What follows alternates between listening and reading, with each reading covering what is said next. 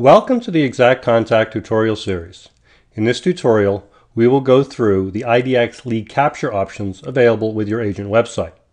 This includes visitor registration options, as well as options for applying your branding to emails sent to website visitors who fill out your IDX lead capture forms. Note that these options only apply if you have the IDX Professional package. In order to increase lead generation, there are a number of options available to encourage or require visitor registration on your IDX search and property details pages. In order to turn on visitor registration, start by selecting the IDX control panel under IDX Setup in the left menu. Your IDX control panel should open in a new window. If it does not, be sure to always allow pop-ups for this website. Select the Setup tab and under Lead Capture in the left menu, select User Registration.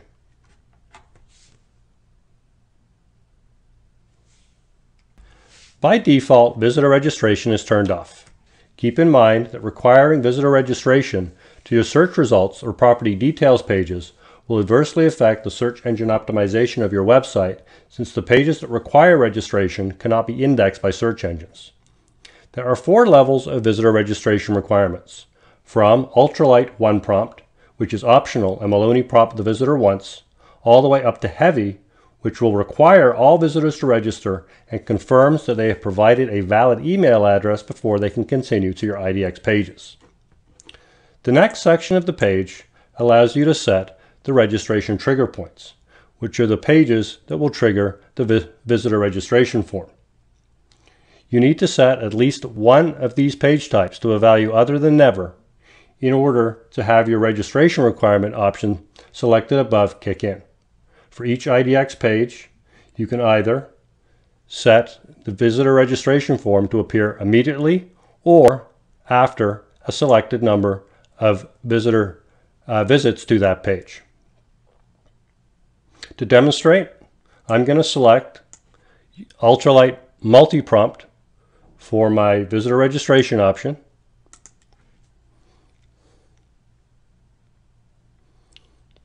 and I'm going to set it to prompt immediately for my search page. Be sure to click the Submit Changes button in each section of the page to save your changes. Now, if I go to my website, click Search Listings, I am prompted to register, but with the option to register later.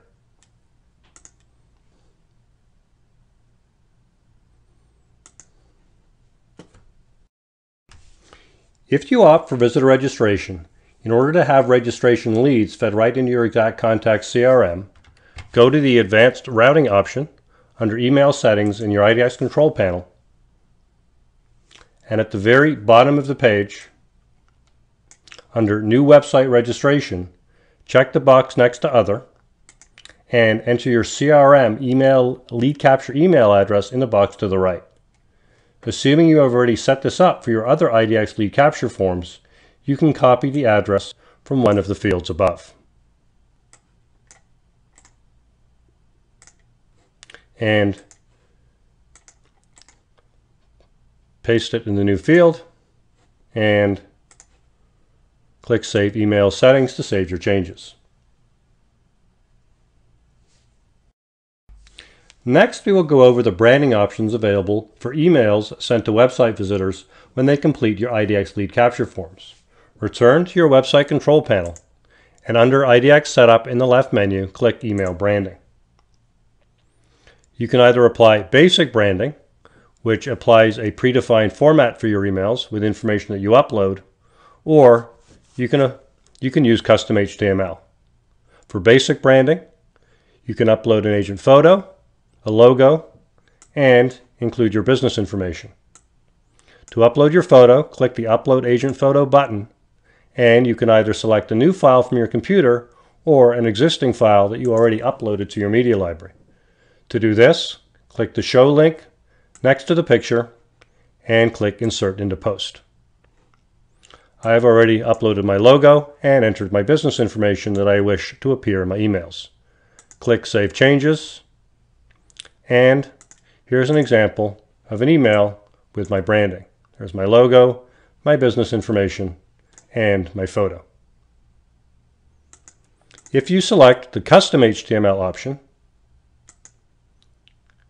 you can either use the visual editor to create a custom design yourself for your header and your footer, including adding e images from your media library, or you can use the text mode and paste in HTML provided by a web designer.